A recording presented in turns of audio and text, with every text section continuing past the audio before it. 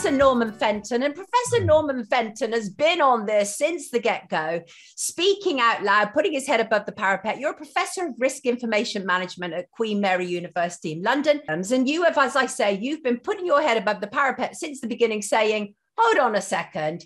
These, this is the modeling we're basing all this on. So you had quite con- serious concerns with the sort of fundamental problems right at the beginning with the whole data collection that was shaping the narrative, didn't you, Norman? Yeah, because that's what we do. We look at uh, data, we look for sort of causal explanations, biases, uncertainty. So we go beyond the sort of standard number crunching that the typical statisticians do. And we saw very early on that there were problems with the the data that was being presented by governments all around the world and the narrative that was being created. So, actually, very early on, we were one of the first to publish a peer-reviewed paper showing that, that while the number of cases of COVID worldwide were more than were being reported at that time, the infection fatality rate, i.e., the probability of dying if you had it, was far was far less as being reported. So basically, COVID was nothing like as deadly and as dangerous as was being portrayed. So we we caught onto that right from the very beginning, and then we exposed the problems with the whole sort of PCR testing. You know, the more you test,